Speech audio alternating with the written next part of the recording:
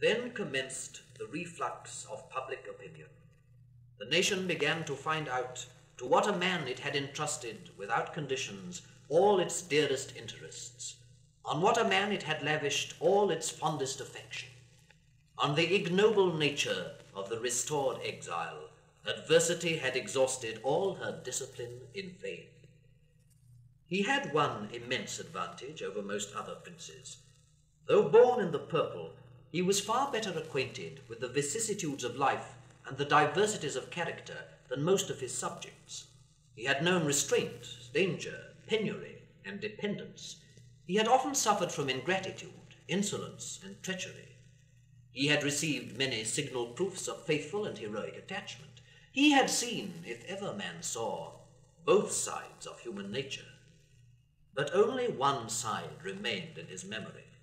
He had learned only to despise and to distrust his species, to consider integrity in men and modesty in women as mere acting. Nor did he think it worthwhile to keep his opinion to himself.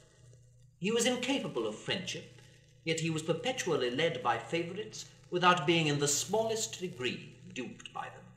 He knew their regard to his interest was all simulated, but from a certain easiness which had no connection with humanity, he submitted, half laughing at himself, to be made the tool of any woman whose person attracted him, or of any man whose tattle diverted him.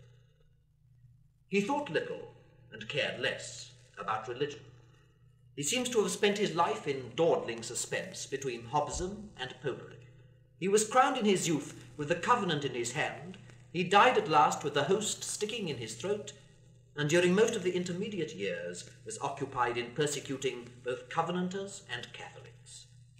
He was not a tyrant from the ordinary motives. He valued power for its own sake little, and fame still less. He does not appear to have been vindictive, or to have found any pleasing excitement in cruelty. What he wanted was to be amused, to get through the twenty-four hours pleasantly without sitting down to dry business.